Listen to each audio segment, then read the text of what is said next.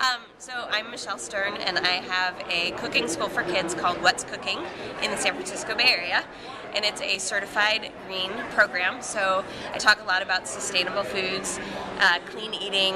Um, I talk a lot about organics and the benefits of doing things like that, trying to get kids to think about packaging and where their food comes from. Um, and I think what's a little bit unique about my program is we talk a lot about community service and how food can be used to help the less fortunate, not just to nourish your body and feed your family. So that's what I do. So if people want to find out more about your work, where can they go? Oh, you're so good. Thank you.